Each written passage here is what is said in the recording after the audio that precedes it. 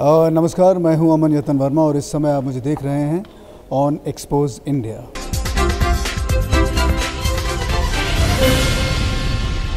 Delhi police की special team को एक बड़ी कामयाबी हाथ लगी। जानकारी के मुताबिक इंडियन मुजाहिदीन के मोस्ट वांटेड आतंकी आरिस खान और जुनैद को गिरफ़्तार कर लिया गया है। आतंकी जुनैद की गिरफ्तारी को दिल्ली पुलिस की स्पेशल टीम ने बड़ी कामयाबी बताई। बताया जा रहा है कि कथित तौर पर जुनैद को चार दिन पहले ही नेपाल से गिरफ़्तार किया गया था। दिल्ली पुलिस ने बताया कि उससे पूछताछ के लिए कस्टडी में लिया गया है। आपको बता दें कि गिरफ़्तार जुनैद दिल्ली के जामिया नगर इलाके में 13 सितंबर 2008 को हुए बटला हाउस एनकाउंटर में भी शामिल था। हमले के बाद वो बीते लगभग 10 साल से फरार चल रहा था, जिसकी काफ़ी समय से पुलिस को तलाश थी।